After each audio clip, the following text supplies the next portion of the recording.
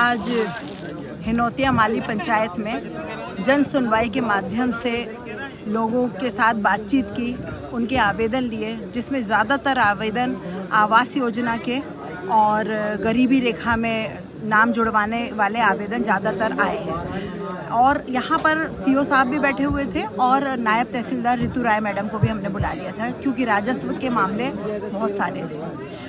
उनके निराकरण के लिए हमने उन सब के फ़ोन नंबर नोट कर लिए हैं और एक महीने का उनको आश्वासन दिया है कि एक महीने के अंदर ये पूर्ति होगी। आवास वाले जो फॉर्म हैं, वो जब तक पोर्टल नहीं खुलेगा, उसमें नाम नहीं जोड़ पाएँगे, या आवास प्लस में उनके नाम जोड़े जाएँगे। तो सभी साथी इससे संतुष्ट हैं। जो भी पात्रता की सूची में आएँगे, उनको उसका लाभ मिलेगा। आज ये काफ़ी सफल रहा ये कार्यक्रम, क्योंकि हमने तीन घंटे का समय यहाँ रखा था। और सारे लोग संतुष्ट।